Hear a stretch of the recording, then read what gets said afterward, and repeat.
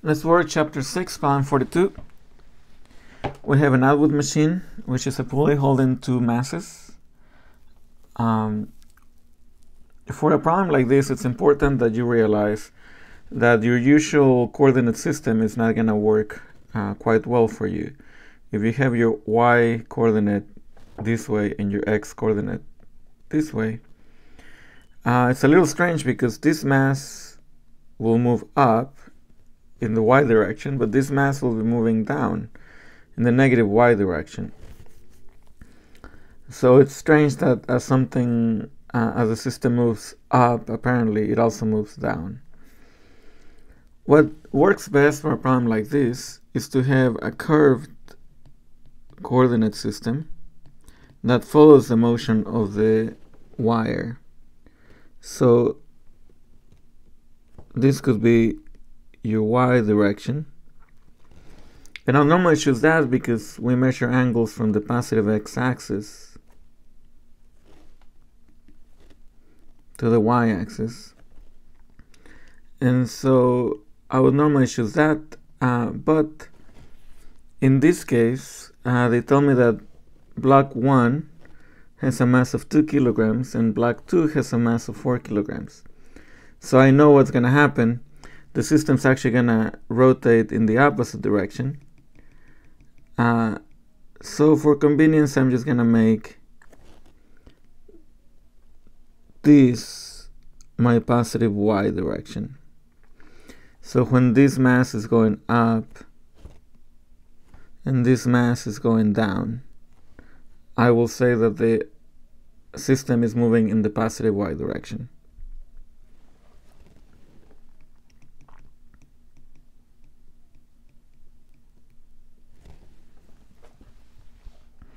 Alright, so part A is find the equation for the acceleration of the two blocks.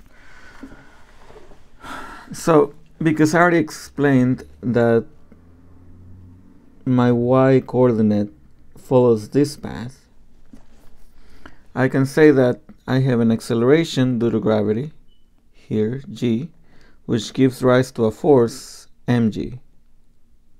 Alright, so um, I could call that F2.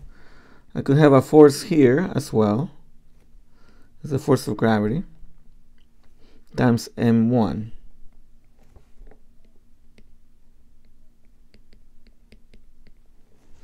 Okay, now according to this system that I set up, F1 then would be in the negative y direction.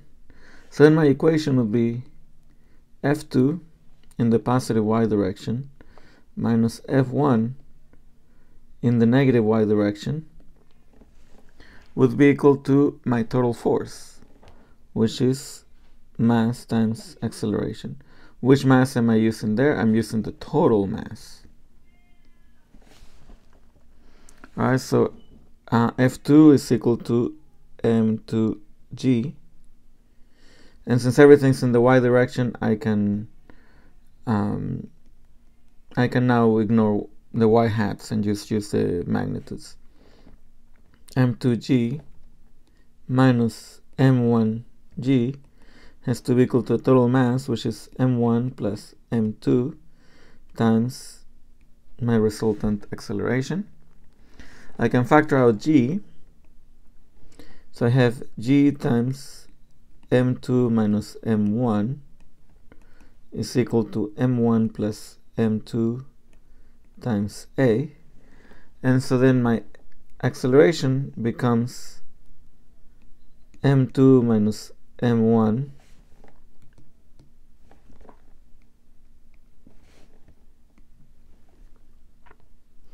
over m1 plus m2 times g. All I did is I divided this quantity by this quantity.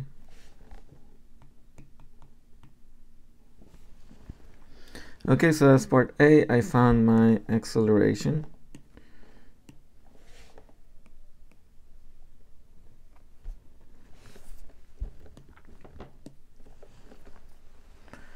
Now for part B, which asks to find the tension, I can look just at one of the masses uh, as a system.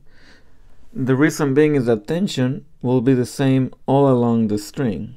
So tension here is equal to the tension in this part of the rope or this part of the rope or this part of the rope. Tension's the same all throughout the rope.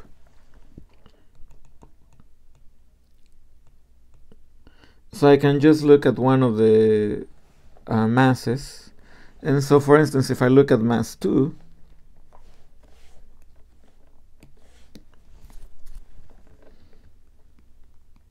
here is mass 2. In this direction I have the tension and in this direction I have the weight.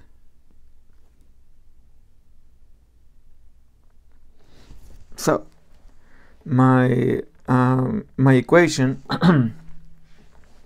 for the acceleration of m2 would be m2g would be equal to I'm sorry m2a that's what I meant to write. So m2a which is m2 times its resultant acceleration has to be equal to m2g and I leave that as positive because that's in the positive y direction as I set up my coordinate system minus the tension. And I made that negative because the tension would be in that direction. It's trying to pull m2 in the negative y direction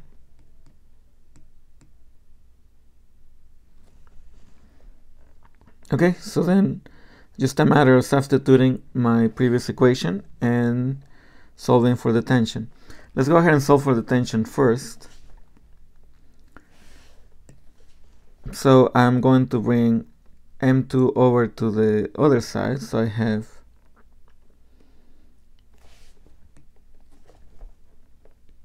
M2A minus M2G is equal to the negative tension. I can uh, factor out M2. M2 times a minus g is equal to the negative tension. And I can get rid of the negative sign by flipping the order of these two quantities. So then I can have m2 times g minus a will be equal to the tension. Alright, now I take that equation, I simplify it, and I should get my answer. So let me write it down again I have that the tension is equal to m2 g minus a so tension will be m2 times g minus a which is this whole quantity.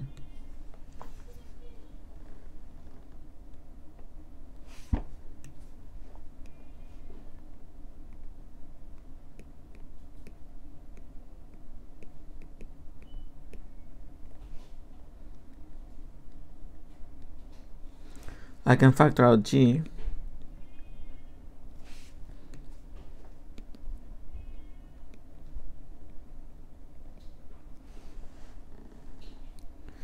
and I have 1 minus m2 minus m1 over m2 plus m1 I need to distribute that negative and put it in a common denominator.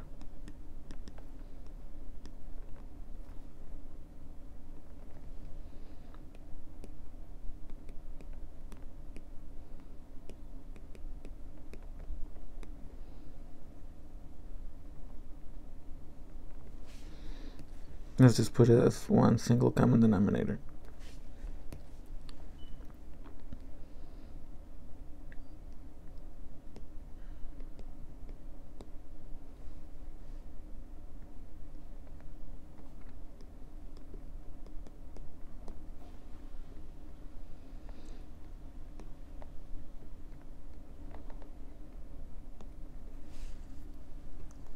okay so as you can see 1 is equal to m2 plus m1 over m2 plus m1 as equal to 1, which is what I used there to put everything in a common denominator. And then I just distributed this negative number, this negative, and I got negative m2 and positive m1. You see there's some uh, useful cancellations here, which are that this m2 is going to cancel that m2. And so then my answer is going to be, let's give myself a little bit more room.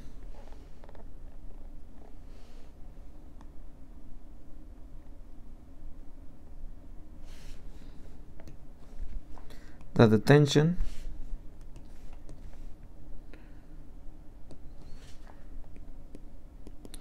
is equal to m2 times 2 m1 because that m1 is going to add